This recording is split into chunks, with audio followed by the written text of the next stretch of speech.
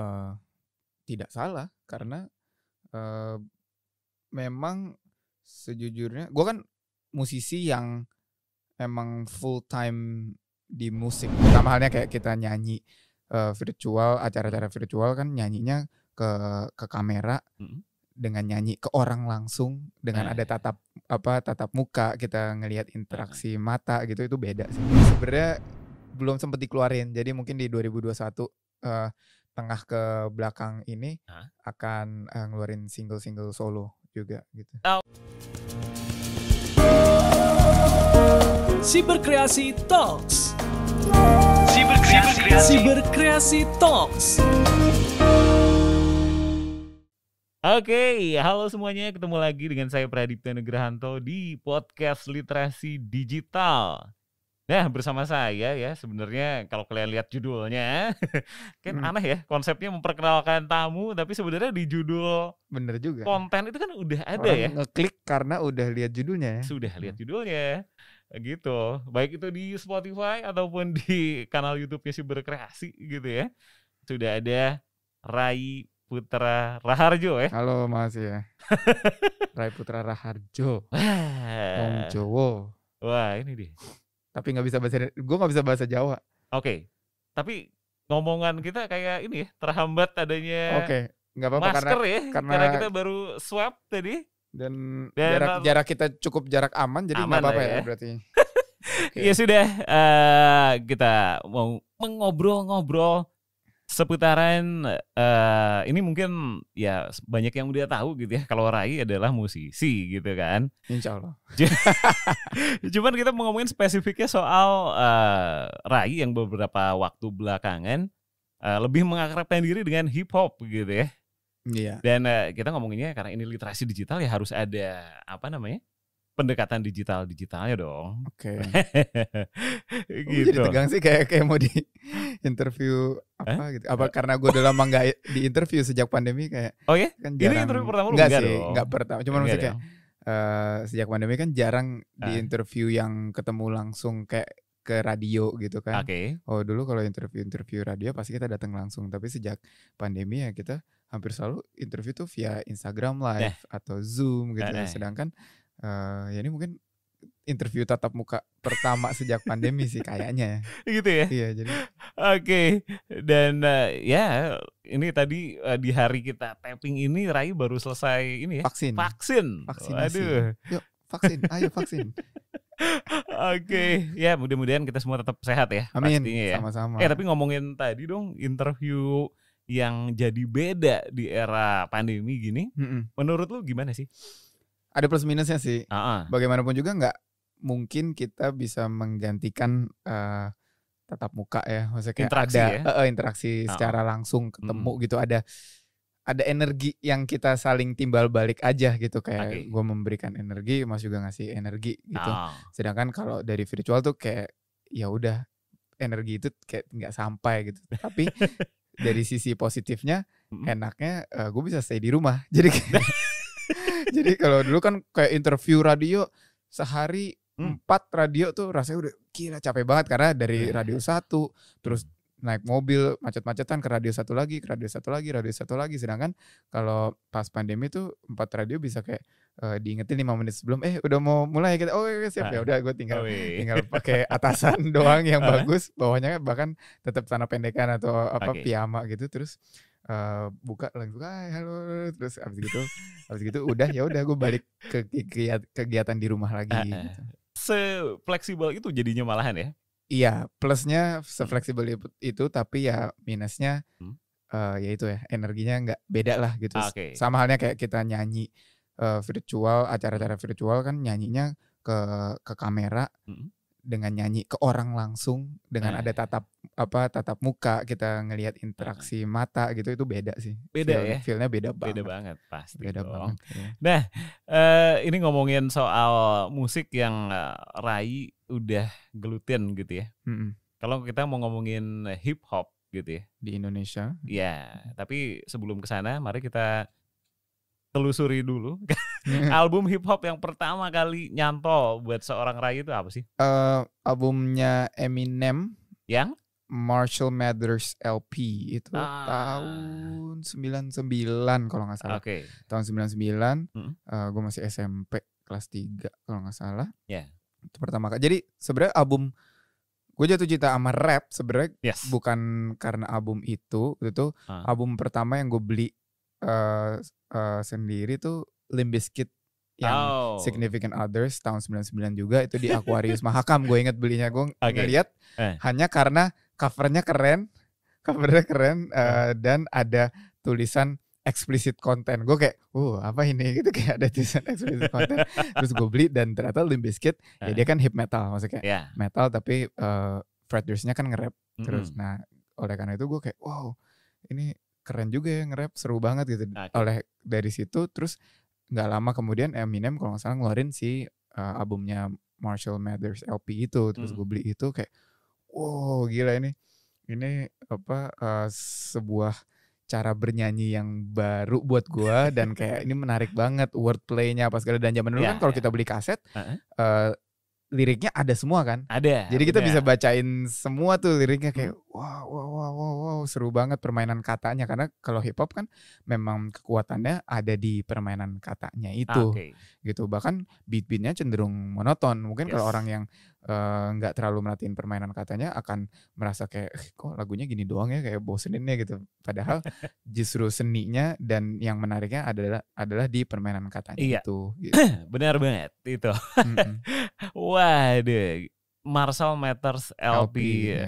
Eminem Eminem ya. ya wah inget gak single yang paling nampel paling nampel dari album itu uh, uh, Stan itu yang yang uh, featuring Daido mm -hmm. yang Daidonya nyanyi itu kau yeah, yeah, yeah. itu soalnya dia itu gila banget sih dia bikin uh, lagu itu kan dia mm -hmm. bercerita awalnya dari sudut pandang si Stan yang uh, yes. fansnya dia itu mm -hmm. apa dia ngefans banget sama Eminem apa segala bikin surat apa segala nunggu di depan uh, apa panggung shownya dia apa segala tapi nggak ketemu nggak ketemu terus sampai akhirnya dia saking maniaknya gila pas terus dia bunuh diri karena dia saking obsesnya sama Eminem tapi nggak nggak nggak ketemu ketemu hmm. terus jadi verse 1 dan verse 2 nya isinya dari sudut pandang Stan-nya dari terus verse 3 nya dari sudut pandang si Eminemnya yang dia bilang kayak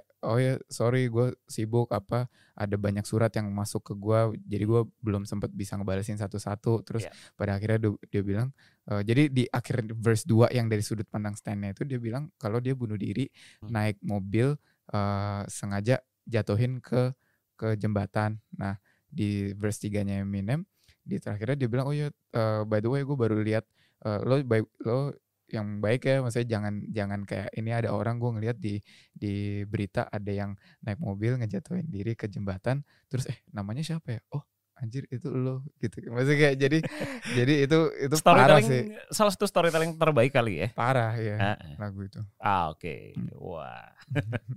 Iya yeah, yeah. uh, itu kalau luar ya. Kalau lokal apa sih uh, musik rap atau hip hop yang lokal. Mm -mm yang pertama kali, oh, wah ini gue ya, bikin gue makin makin pengen menyelami ini nih. Uh, lagu yang gue kayak apa uh, suka banget pertama kali jelas uh, Iwake yang malam ini indah ya. Oh. Malam ini indah. tapi uh, gue suka banget lagu itu tapi okay.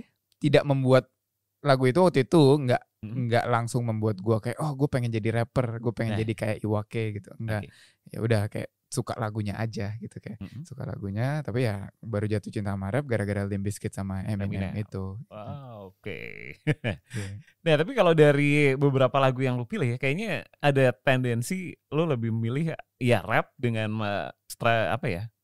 teknik bernyanyi yang beda tapi tetap ada nyanyiannya gitu. Bener gak sih lu lebih suka? Iya, karena pada dasarnya gue tuh yang... orangnya juga uh, eh makanya gue tuh uh, amfibi sebenarnya. Ah gue punya run yang notabene pop sekali, yeah. tapi uh, passion project gue, side -huh. project gue yang solo ya hip hop hip hop dan R&B banget uh -huh. gitu. Nah apa kalau run ini kan soalnya memang kita bertiga uh, sistemnya uh, bagi uh, bagi rata adil di yeah. ini ter semua muanya dari duit dari kerjaannya dari termasuk influence kita pun kita bagi rata nih influence musiknya hmm. uh, apa Asta sangat suka ya kayak seperti Jamiroquai, John yeah. Mayer, uh, Earth Wind and Fire apa segala uh. uh, gue juga suka itu juga tapi itu lebih ke itu lebih ke Asta deh yang kayak gitu ah, terus Nino okay. tuh yang Nino tuh yang Indonesian pop banget mm. gue aja tahu Chris Patih itu dari dari Nino gitu kayak terus terus dia kahitna banget anaknya gitu. Pokoknya semua yang dikeluarin nama Yofi Widianto Widianto dulu dia kayak wah dia suka banget. Nah gue belajar dengerin Indonesian pop juga dari Nino sedangkan gue yang uh, hip hop R&B banget. Nah hmm. Ran ini kita kita uh, uh, porsi porsi yang porsi yang hip hop dan rapnya ini emang adalah porsi gue tapi nggak bisa dipungkiri gue juga suka lagu-lagu yang Asta dan Nino suka juga okay. oleh karena itu jadi kalaupun gue mengeluarkan lagu-lagu hip hop biasanya tetap nadanya pun tetap nada-nada yang catchy yang kayak pop juga ah, okay. gitu kayak tetap kedengeran unsur popnya nggak ah. nggak yang hip hop totok gitu nggak hmm, kayak gitu ya ya ya ya ya Nah, tapi mungkin ini banyak yang belum tahu ya. Kalau sebelum Run itu yeah. sempat ada grup namanya FRD. Punk Rap Disco, yeah. FRD. Ya. ya itu grup SMA-nya ah. gua Asta sama teman-teman SMA kita. Oke. Okay.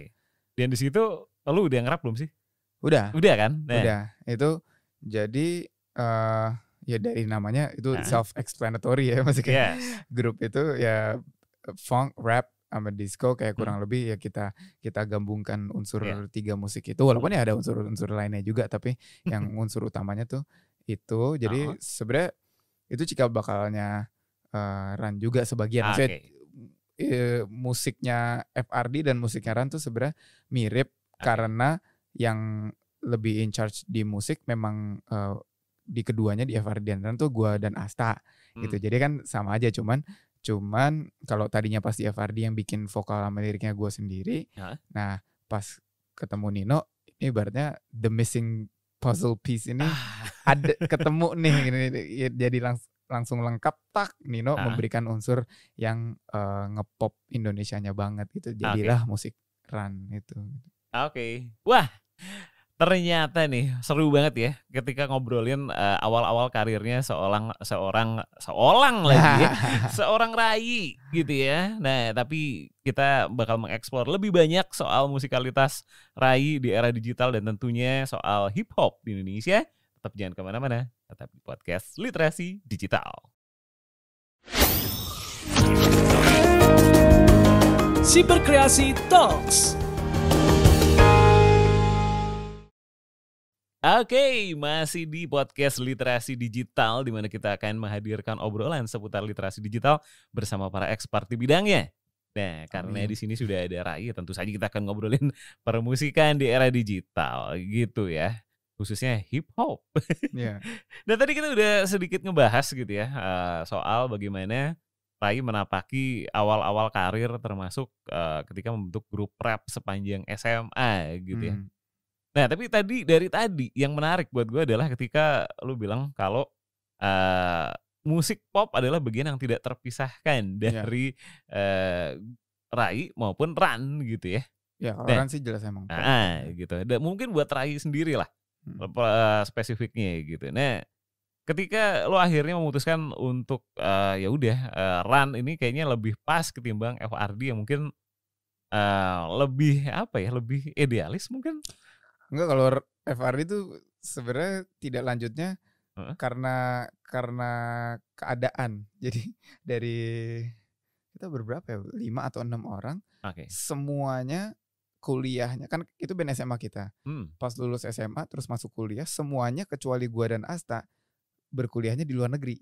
Ah. Jadi ya udah otomatis otomatis vakum dengan sendirinya ah. dan dan tiba-tiba di tengah kevakuman itu kita nggak sengaja uh, ketemu Nino. Maksudnya mm -hmm. Nino emang adik kelas kita di di Alizar Pondok Labu. Oke. Okay.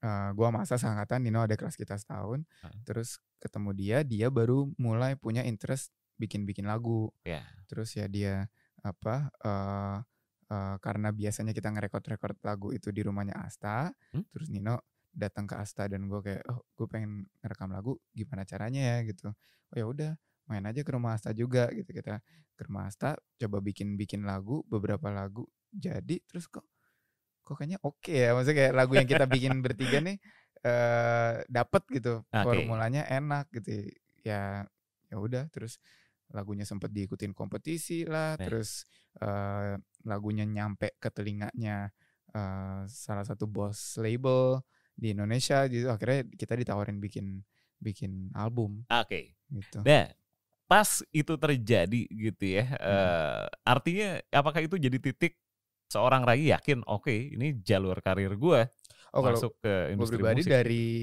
SMP gue udah tahu hmm? kalau gue maunya di musik. Oke. Okay. Dari SMP gue udah tahu gue mau bekerja di industri musik apa pun itu gitu. Nah, entah itu depan atau di belakang layar entah ya. Itu depan, belakang, bawah, atas layar gue beneran gak peduli maksudnya kayak uh -uh. Uh, bahkan pas uh, kan gue pacaran sama istri gue dulu dari pas hmm. kita SMA okay. dari pas belum pacaran pun pas ketemu gue bilang uh, maksudnya gue soalnya tipe orangnya ya udah kalau mau ngejalanin serius kalian kita nggak mau hmm. cuman main-main aja gitu ya udah tapi gue bilang uh, gue tapi udah tahu nih gue nanti besarnya pas udah gede gue mau kerja di industri musik mau jadi apa pun itu syukur-syukur hmm. maksudnya goal utamanya gue menjadi menjadi artisnya uh, yang bikin lagunya yang menyanyikan apa segala tapi kalaupun misalnya gue saya harus jadi roadies jadi kru apa segala gue nggak masalah karena uh, life short buat gue gue bilang life short jadi kayak kayak daripada gue ngabisin waktu melakukan hal-hal yang gue nggak suka gue nggak tahu kapan gue mati mm-hmm. bisa jadi gue besok atau lusa udah mati gue mendingan setiap uh, kali melakukan sesuatu tuh hal yang memang gue passionate dan gue merasa merasa uh, ini merasa puas gitu ngerjainnya daripada oke okay, misalnya gue uh, kerja di korporasi atau apa segala kantoran terus gajinya misalnya oke okay, apa segala tapi tiap hari gue datang kerja gue ngerasa ini sebenarnya nggak gue sih gitu. Gue nggak mau membohongi diri gue gitu. Ya gue bilang ke pada saat itu calon pacar gue kayak uh.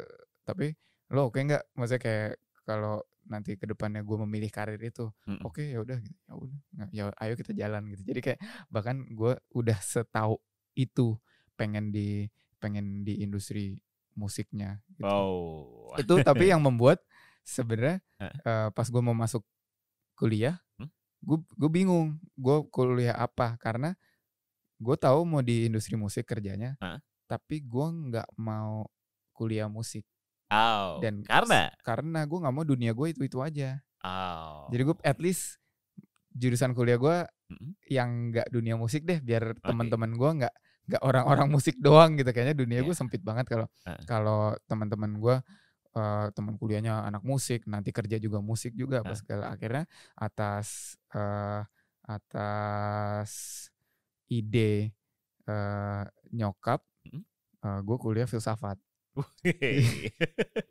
gue udah pesawat karena kata nyokap, oh ya mungkin itu uh, karena itu nanti bagus untuk membentuk cara berpikir kamu, ah, cara kamu melihat dunia, okay. segala gitu. Kamu jadi hmm. open minded, jadi nggak nggak nggak nggak cepet ngejudge orang apa segala hmm. kayak, kayak emang di filsafat gue dilatih untuk ini banget sih untuk untuk berusaha melihat segala sesuatu dari berbagai macam sudut pandang. Jadi kita nggak nggak nggak sempit gitu pemikirannya. Kita kayak oh tapi mungkin kalau misalnya dari sudut pandang dia seperti ini oh gue jadi bisa lebih respect kayak ya. apa pendapat seseorang gitu Iya tapi ngomongin soal totalitas gitu ya nggak heran ketika akhirnya uh, Rai sekarang jadi bagian dari Def Jam Indonesia Def gitu ya. Jam ya. Indonesia cuman yang uh, cukup menggelitik uh, buat gue adalah ketika Def Jam Indonesia pertama muncul cukup banyak ya uh, pelaku uh, dari ranah hip hop yang hmm. mungkin sedikit memicingkan mata agak, ini agak sinis, apa ya, gitu ya, ya. ya kerasa kan dulu kan ya ya gue gue jujur nggak terlalu karena uh. gue nggak terlalu yang kebetulan uh. gue nggak terlalu yang berkecimpung di uh, skena skena uh, uh. hip hop sebenarnya okay. karena ya main thing gue tetap peran gitu ya gue hmm.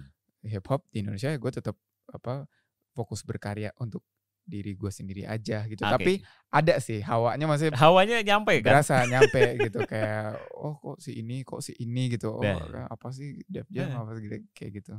Terus gimana maksudnya kayak nah tapi ketika melihat itu gitu ya lu membayangkannya Def Jam Indonesia itu apakah harus kan kalau di sini apa-apa selalu orang di luar aja gitu ya masa harus Indonesianya begini gitu kan hmm. lu membayangkannya konsep Def Jam Indonesia kebayang gak sih bakal seperti apa dulunya ketika diajak gabung lu kebayangnya apa waktu itu uh, ya Def Jam sebenarnya Def Jam tuh uh, Def Jam Indonesia adalah bagian dari Def Jam Southeast Asia. Jadi okay. ketika pas uh, gue di kontak pertama kali itu juga oleh Joe Flizzo, kalau tahu Too Fat dulu.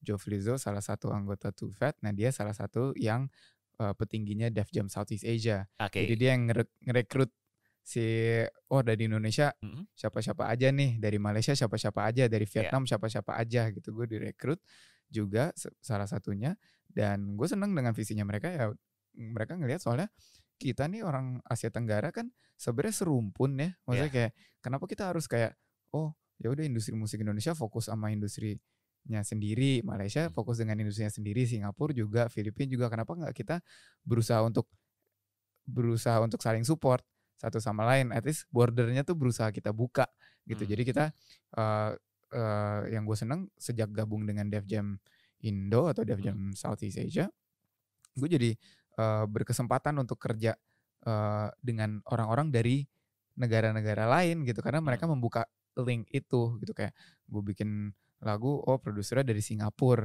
terus di syutingnya di Malaysia atau apa atau gue dari Indonesia uh, produsernya tapi gue mixing masteringnya sama orang sama orang Malaysia gitu. Maksudnya kayak enak jadi jadi kita saling saling support bukannya saling sikut-sikutan. Karena menurut gua hip hop di Southeast Asia terutama di Indonesia sendiri itu masih masih tahap perjuangan gitu. Masih kayak masih belum masih dipandang sebelah mata banget dan masih persentase market share-nya tuh masih super kecil hip hop di Indonesia menurut gue jadi daripada daripada ngapain sih kita apa uh, saling sikut sana sini atau kayak saling sinis sana sini kenapa nggak kita saling support gitu? Dan kalau misalnya ada yang bagus gue akan dengan dengan senang hati berusaha untuk nge-support at least lewat social media atau apa gitu. Dan dan gue malah ikutan malah ikutan seneng dan hmm. dan ngefans gitu kadang sama teman-teman kita sendiri yang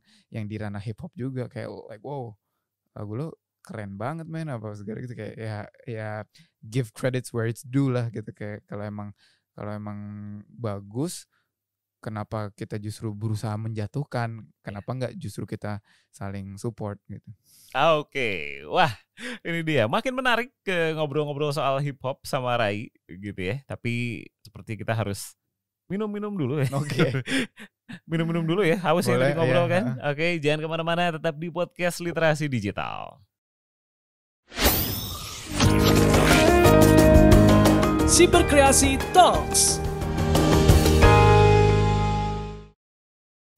Oke, okay, masih di podcast Literasi Digital barengan gue Dipta dan tentunya masih bersama Rai Putra Raharjo. Oke, okay, uh, eh, di sini tadi kita udah ngobrolin banyak ya bagaimana hip hop mengantarkan dan musik ya yeah. mengantarkan Rai ke titik yang sekarang gitu. Tapi hmm. sekarang kan kondisi berubah ya. Setelah satu tahun kita merayakan ulang tahun bernama COVID-19. Sebuah entitas bernama COVID-19. Iya. Entitas. Yeah. nah tapi banyak yang bilang ya uh, kondisi setahun terakhir itu yang paling tergerus adalah musisi. Industri gitu. musik ya. Gimana hmm. menurut Rai nih? Jadi uh, tidak salah karena uh, memang sejujurnya gue kan musisi yang emang full time di musik okay. gue nggak punya nggak begitu punya uh, sampingan-sampingan bisnis uh. atau apa segala gitu ya paling kalau social media pun ya endorsement apa tapi sedikit gitu maksudnya kayak mm. itu bukan main main thing gue nggak bukan pernah. keran utama lah ya uh, jelas bukan itu lebih kayak hobi aja maksudnya dan uh. kalau emang ada produk yang cocok atau mm -hmm. brand yang cocok oh ya why not gitu kan okay. nah uh, jadi musisi-musisi yang terutama full time musician itu mm hmm, memang pemasukan paling utamanya kalau di Indonesia itu masih bergantung sama uh, off air okay. sama gigs gitu mm -hmm. jadi jadi ya ketika pandemi gigsnya hampir maksudnya bukan hampir ya berkurang tidak ada malah hampir tidak ada maksudnya kayak berkurangnya uh, banyak banget bisa kayak seperlima sepersepuluh dari frekuensi kita biasanya ya ya kalau kita dulu dulunya mungkin kurang uh, giat menabung atau kurang pintar dalam mengelola uang kita ya habis-habisan pasti gitu ya terutama hmm. yang gue apa uh, ya gue yakin pasti lebih habis-habisan adalah ya kru-kru atau tim produksi panggung apa segala karena hmm. mereka kan benar-benar uh, harian ya maksudnya kayak per, per gig gitu mereka yeah. dapat dapat bayarannya gitu hmm. jadi kayak kayak ya udah kalau kalau musisi mungkin di Indonesia ya ada royalti gitu tapi royalti uh, kalau perbandingannya dengan dengan uang dari off air ya mungkin rasanya uh, lebih ke seperti bonus maksudnya ah. jadi kayak kayak uh, royal apa off air tuh kayak gajinya kita eh? dulu dulu kayak gajinya kita uh, walaupun gajinya fluktuatif ya karena kan uh. Nggak nggak tiap bulan pasti bisa dipatok dapat gig berapa gitu. Hmm. Ada bulan-bulan yang rame, ada bulan-bulan yang sepi gitu. Nah, tiap tiga bulan tiba-tiba ada royalti turun ya itu menjadi kayak seperti eh dapat bonus nih gitu kayak. Okay. Kayak gitu gitu. Jadi ya ber, berdampak sekali sih hmm. ke kita gitu ya mau nggak mau jadi jadi hidup dari tabungan. Ah, tapi banyak yang bilang juga nih makanya nih banyak uh, pihak yang tidak cakap digital gitu ya. Hmm. Jadinya mengalami kegagapan ketika terjadi kondisi-kondisi seperti pandemi sekarang hmm. gitu. Nah buat Rai sendiri gitu ya, apakah memang tidak mempersiapkan payung digital karena tadi seperti dibilang pemasukan utama ya kita tetap dari yeah. off air yeah. atau memang sebenarnya sudah mulai merintis pergerakan di ranah digital cuman belum maksimal. Jujur baru sih, baru banget apa baru aja kemarin uh, uh, karena kebetulan juga maksudnya diawali dari bahwa nanti gue mau merilis single mm-hmm. uh, di bulan ini yeah. Ya. uh, jadinya kan kita butuh untuk bikin uh, shoulder content ya mm-hmm. untuk untuk untuk menam ya untuk mendrag orang supaya bisa uh, nonton video klipnya atau mendengarkan lagunya gitu nah kemarin baru aja gue syuting lumayan banyak konten lah kayak sekitar 8 atau sampai 10 konten-konten uh, untuk di ranah digital yang kayaknya setelah ngobrol dengan label juga kemarin tuh emang harus di mau nggak mau harus harus gue seriusin gitu. Maksudnya gue nggak bisa berhenti uh, hasil obrolannya adalah gue nggak bisa berhenti hanya menjadi musisi aja. Tapi mau nggak mau sekarang semua musisi itu harus menjadi konten kreator juga gitu hmm. apa pun apa pun uh, platformnya ya mau itu yeah. YouTube atau TikTok atau apa segala gitu pokoknya kita harus harus bisa melek digital dan me mengikuti mengikuti tren atau wave wave ini gitu. Hmm. Gitu ya. Jadi mau nggak mau ya adaptasi atau mati gitu ya. iya, bener sih. Walaupun gue cukup optimis juga. Uh -huh. Insya Allah ya sooner or later apakah itu tahun depan atau apa ya industri off airnya akan akan jalan lagi juga gitu dan okay. dan soalnya soalnya kita nih maksudnya nggak dari nggak dari pelakunya aja tapi dari penikmat musik tuh pasti untuk nonton konser secara live tuh kangennya udah membuncah banget ya. Iya, jadi ketika nanti bisa bis, gue cukup yakin apa acara-acara off air hmm. manggung-manggung tuh akan justru menggila gitu hmm. apa frekuensinya banyak banget jadi ya gue masih optimis uh, industri musiknya sendiri akan sehat kembali nantinya cuman ya in the meantime sementara waktu ya kita harus bisa beradaptasi dengan dengan era digital ini dengan ya um, menjadi konten kreator juga kayaknya gitu. Oke, okay. wah, ya jelas ya siapa yang nggak uh, kangen dengan segala keseruan offline activity gitu ya, yeah. termasuk musik di sini. Nah, tapi untuk sementara jangan ke mana-mana lah, tetap di podcast literasi digital.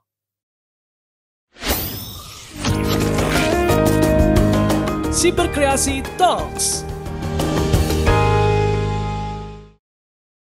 Oke, okay, masih di podcast Literasi Digital bersama gue Dipta dan bersama gue masih ada Rai Putra, Raharjo.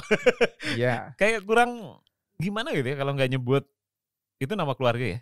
Raharjo nama ya nama bapak. Nama bokap. Nama. Oke. Okay. Nama akhir bokap. Ya, ya, ya. Nah, tadi kita udah ngomongin berbagai kemungkinan-kemungkinan dari kondisi pandemi gitu yeah. ya. Cuman balik lagi nih ke hip hop di mana kita uh, sebenarnya mau ngobrolin itu kan. Iya. Yeah.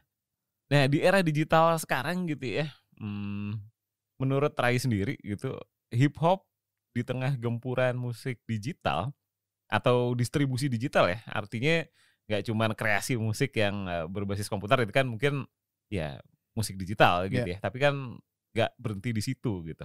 Hmm. Itu gimana sih? Sudah uh, cukup membantu kah atau kayaknya masih masih masih ya seperti tadi sebelumnya gue pernah eh, tadi gue bilang juga ya hip hop masih niche sekali marketnya sih masih masih uh. masih kecil sekali market share di industri musik okay. Indonesia gitu nggak tahu kenapa mungkin ada kendala kendala bahasa yang maksudnya bahwa uh -huh. ya memang nggak bisa dipungkiri yang uh, dedengkotnya kan dari Amerika maksudnya sedangkan okay. kita bukan negara uh, apa yang berbahasa Inggris maksudnya bahasa -hmm. utamanya bukan bahasa Inggris bahkan bukan bahasa kedua juga -hmm. gitu jadi uh, untuk memahami apa-apa yang di apa-apa yang dirapkan oleh mm. orang-orang yang si pelaku pelakunya yang menguasai dunia ini mungkin memang sulit. Okay. Apa setelah itu juga mungkin uh, uh, apa ya apa ya gue ngeliatnya hip hop di sini masih masih dianggap waktu itu lupa perkataannya siapa tapi bener banget menurut gue hip hop masih dianggap kayak atraksi ah, jadi kayak nge-rap tuh kayak orang sirkus performance ya. Iya, iya, iya, maksudnya kayak, kayak eh. orang sirkus tapi kayak misalnya kayak kadang-kadang dan itu pun gue juga masih sering me, men, mengalami itu gitu. Kalau ah. misalnya kayak uh, saya ke lagi interview radio gitu terus mm -hmm. lagi ngobrol terus pas kayak oke okay, uh, eh, Rai nge-rap dong, nge-rap dong. Maksudnya mm. ngerapin apa freestyle apa gitu. Ah. Ini nah gue apa pertama emang gue nggak bisa nggak bisa freestyle. Oke. Okay. Jadi uh, tapi mereka tuh ngeliatnya kayak oh kalau rapper tuh pasti bisa freestyle harus bisa freestyle atau kayak okay. rapper tuh kayak bisa apa aja di rapin gitu padahal kita menurut apa kita menulisnya tuh uh. harus dengan dengan desain gitu maksudnya kayak apa kayak bikin puisi kan kita uh, rima-rimanya di akhir harus harus uh, sama selaras gitu. hmm. jadi kayak kayak ada memang rapper-rapper yang bisa freestyle dalam artian tanpa tanpa menulis dia bisa langsung nge-rap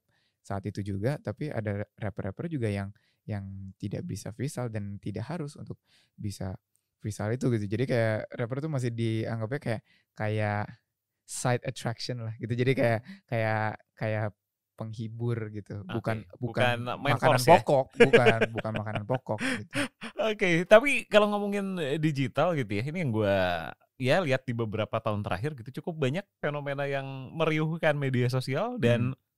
bersinggungan dengan hip hop gitu. Kayak kemarin ya siapa yang nggak uh, ikut dalam ya pasti sedikit banyak dis-disan hmm. rame yaitu hip hop di satu dua tiga tahun terakhir lah ya hmm. Indonesia gitu. Terus banyak juga musisi-musisi yang eh, terangkat gara-gara uh, platform digital dan mereka bermain di hip hop gitu. Hmm. Ya siapa yang nggak uh, tahu Rich Brian dan hmm, hmm. Uh, meroketnya dia ya sedikit banyak tidak lepas dari dunia digital yeah, ya. Yeah. Pun dengan tadi kalau ngomongin freestyle ya ada yang Lex yang sempat viral, yeah, viral freestyle-nya dia, dengan ya. walaupun ya terlepas bagus atau jelek itu selera uh, gitu orang -orang ya. malah jadi Tapi kan rame kan itu jadi kontennya hip hop. Yeah. Gimana kalau menurut lo? Uh, ya itu hip hop tuh berarti dalam mungkin 10 tahun belakangan ini hmm? lebih ke viral ah, aja okay. gitu. Tapi sesuatu yang viral tuh belum tentu everlasting. Hmm.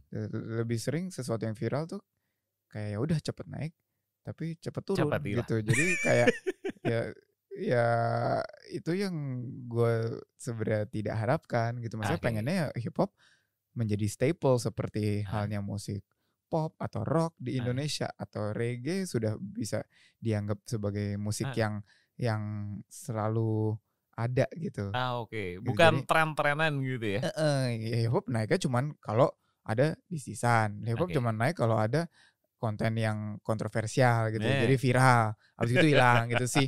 Harusnya uh, oke okay, fine viral tapi hmm?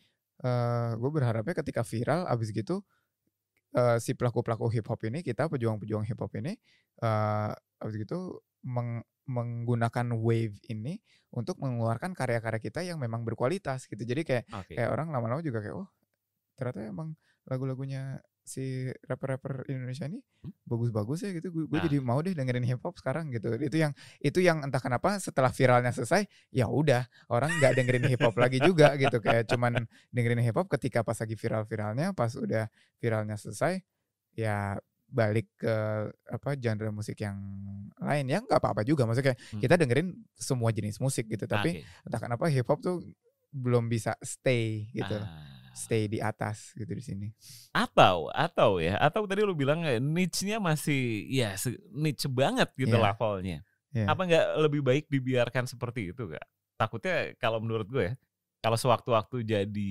semakin masif uh -uh. gitu, udah nggak seasik niche yang sekarang ini gitu. Uh, Ada kekhawatiran kayak gitu gak sih? Enggak siap hmm. siap orang pengen sukses, siap orang pengen uh, lebih okay. dari sekarang dan bohong menurut gua kalau misalnya ada orang-orang yang nggak uh, pengen musiknya atau karyanya didengar lebih banyak orang atau okay. bisa memberi impact lebih kepada uh. orang gitu.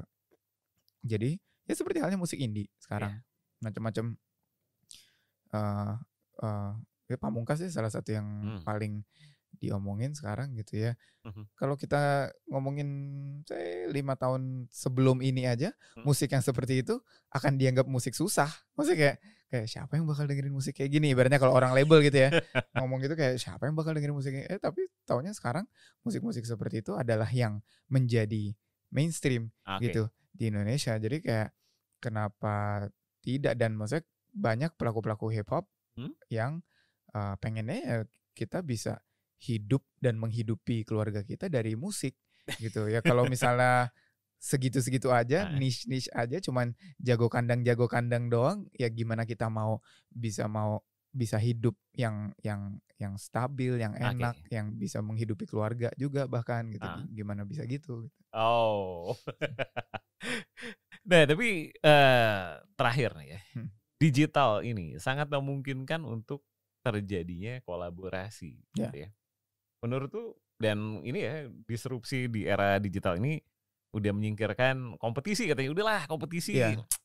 udah nggak zaman kayak tadi sekarang, gitu ya. kolaborasi gitu lu sendiri ngeliatnya gimana sih kolaborasi ini kan soalnya kadang-kadang ya kadang-kadang uh, dianggap wah lu collab cuman biar pansos uh, gitu, uh, gitu. ada tetap ada gitunya kan meskipun enggak kok emang dia bagus iya. gitu ya gue sih sangat setuju dengan kolaborasi ya maksudnya kayak okay Uh, karena ya kalau bisa kita saling memperkaya satu sama lain, kenapa tidak gitu? Okay. Uh, ya mengenai siapa yang misalnya oh saat ini posisinya lebih apa lebih terbantu mm-hmm. dan siapa yang membantu yaitu apa uh, hidup kan seperti roda gitu kadang oke okay. okay, mungkin lo sekarang uh. saat ini uh, lagi di at lagi di atas tapi uh. belum tentu dua tahun lagi justru masih sama. masih sama atau justru yang yang dibantu yang tahunya yang di atas dua tahun lagi gitu. Jadi kayak ya udahlah maksudnya kayak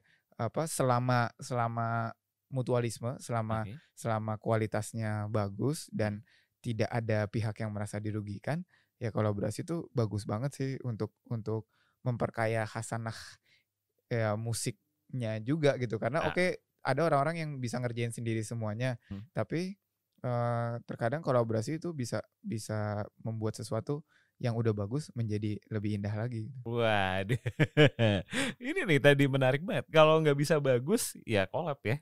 Kalau udah kolab tetap gak bagus juga, berarti ya udah. ya introspeksi. ya itu dia. Oke, okay. thank you Rai, seru banget ngobrol-ngobrolnya seputaran hip hop uh, di ranah digital dan ke depan apa nih terdekat berarti rencana lo? Uh, Ran lagi kalau Ran lagi nabung-nabung bikin-bikin uh, maksudnya materi-materi untuk apakah kita jadikan album atau jadikan single, pokoknya mm -hmm. lebih banyak studio time sih. Okay. Kalau yang solonya juga sebenarnya iya tapi udah lebih udah lebih prepared karena ada tabungan-tabungan dari 2020 yang sebenarnya belum sempat dikeluarin. Jadi mungkin di 2021 uh, tengah ke belakang ini Hah? akan uh, ngeluarin single-single solo juga gitu. Oke, okay. wah itu dia. Oke, okay, thank you Rai, sukses dan sehat selalu ya. Mudah-mudahan nanti vaksin sekali lagi lancar-lancar terus ya. amin, ya. Terima kasih. Oke, okay, jadi pastikan kalian menyimak uh, berbagai obrolan menarik seputar literasi digital baik di kanal Spotify Literasi Digital atau di channel YouTube Lipsi Berkreasi. Oke, okay? yeah. gue Dipta dan Rai Putra. See you in the next interview and bye bye guys. Bye. Siberkreasi Talks. Siberkreasi, Siberkreasi Talks.